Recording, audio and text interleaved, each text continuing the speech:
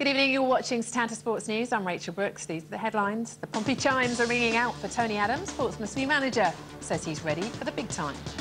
Yes, very much so. Uh, I'm just dodging the balls at the moment, actually, as Sussex prepare behind me, so if I duck out of shot, you'll know why.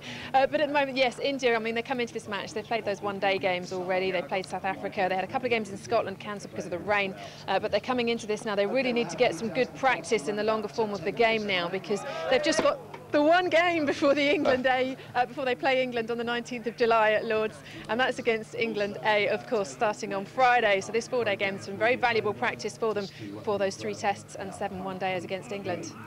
Tell them there'll be trouble if you get hit down there. I'll be straight in the car and down to sort them out. What's the insurance like? Uh, um, don't know if you're covered. Be careful. 35 for one off four overs. That wicket to fall was that of Joe Denley. He opened the batting with Matt Walker and he was clean bowled by Matt Nicholson for 12. And I did say Matt Nicholson was one to watch out for in the uh, Surrey attack. He and Chris Schofield have accounted for many a wicket in this 2020 competition and he's done just that. Clean bowled Joe Denley for 12 and at that point uh, Denley and Walker have got quite a good partnership going. Portsmouth frontman Peter Crouch has said it was a shock to see Harry Redknapp leave, but he insists the squad will be fully behind the new manager Tony Adams. He's also dismissed suggestions he could leave the club due to Redknapp's departure. Uh, that was followed straight away by the reigning champions, the Rajasthan Royals, taking on Kevin Pietersen's Royal Challengers Bangalore. He was a man under pressure yesterday, not only to prove his captaincy credentials, but also being one of the highest paid players in the tournament. He had to guide his team to a win over the reigning champions, and he did just that. Rahul Dravid with a solid 66, but Anil Kumble, five for five off just four overs, really got the crowd going yesterday before a fantastic opening ceremony here at the ground. We saw everything from African dancers and musicians to uh, acrobatics from Cirque du Soleil, some of their uh, acrobats going higher than some of those sixes we'd seen earlier than in the day, in fact. Fireworks closed the ceremony last night, but it had been pretty spectacular all day. Lalit Modi thanked South Africa for welcoming the Indian Premier League, but said it would be back in India next year. But I tell you what, yesterday they showed here in South Africa, anything India can do, they can do just as well. 145 test matches, 708 test wickets. The Oval is a ground Shane Warne knows very well. Only today, he's here to play a very different game. I can't let you go, obviously, without asking you about the Ashes next year. Have you completely ruled it out, or is there a chance we might see you turn your arm over? No, I'm happily, very happily retired. I, actually, let me just repeat that. I'm very happily retired. Um, if I'm over here, we'll hopefully be in a commentator capacity or just enjoying, hopefully, seeing the sun and watching the cricket. But um, no, I won't be back.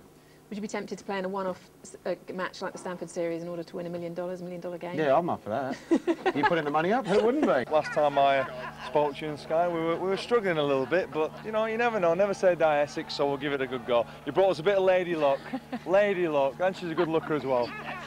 well, I can tell you, Sussex moved on to 140 for eight. They need another 38 runs here, and they've got five overs to do it in with two wickets remaining.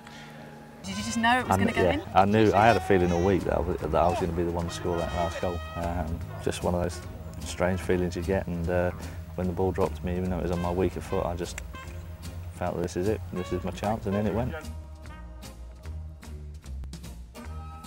Next team today. I'm trying to get as much in as possible. I've got your bent knees now. And there's a couple of Southampton players in the England side at the moment. You've got James Beattie and Wayne Bridge. How hard is it coming from a supposed smaller club um, to get into the national side? It is, it's a little bit harder. Any news on his fitness now? Well, I can tell you, Vicky, I have spoken to the England camp this morning. There was a bit of concern yesterday after that match. Uh, if you saw the pictures, he did look like he was in a little bit of pain at times, but they said he's pulled up fine this morning. He's absolutely, absolutely fine. They wouldn't tell us whether or not he had any treatment last night, but they said he's fit and well, and he will be on that plane tonight. Hello and welcome to Action and Reaction on Setanta Sports News. I'm Matt Teal. And I'm Rachel Brookes, and these are the headlines. A British master. Can Justin maintain his challenge for a green jacket?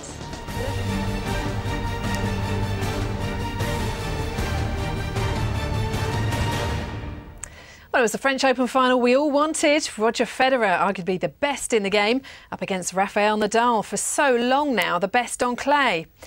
The last time they met in the Hamburg final, Federer put a stop to an impressive 81-game winning streak on clay by the Spaniard, whereas Nadal's yet to be defeated in Roland Garros. The Essex have lost uh, those uh, four wickets now. We can see the first of those to go. That was Mark Pettini, the Essex captain. He was clean bowled by James Bruce for just nine at the start of the Essex innings. The patch. I'll tell you what's just happened in just one moment. But then Grant Flowerfield, David Griffiths on his 2020 debut for Hampshire took his wicket for 21. Nick Pothas, the wicketkeeper, running out to make that catch.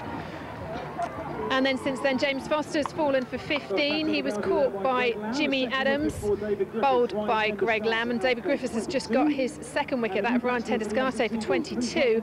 And uh, that was Greg Lamb taking the catch of that one. So that leaves Essex now on 83 for 5. And the man coming out to the middle is Andy Bichel. We thought he was going to come out further up the order, but he's coming out now.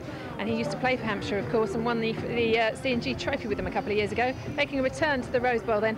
Andy Bichel hoping to steady this Essex innings as they reach 85 for 5 here. Real beer, lots of it. And enough said about the French, the better. Red meat and vegetables, and you live to 101 and be doing your marathon at 101. Ever done a marathon? I haven't, no, I've put me to shame. Good luck to him as well. Many years left, Super. really, are for you to get Not that? really, no. On Okay, keep it right here on Setanta Sports News. There's plenty more still to come in the next hour, including the Gers are back on Scottish soil after their success in Europe. We hear why they still believe a famous quadruple is very much in their sights.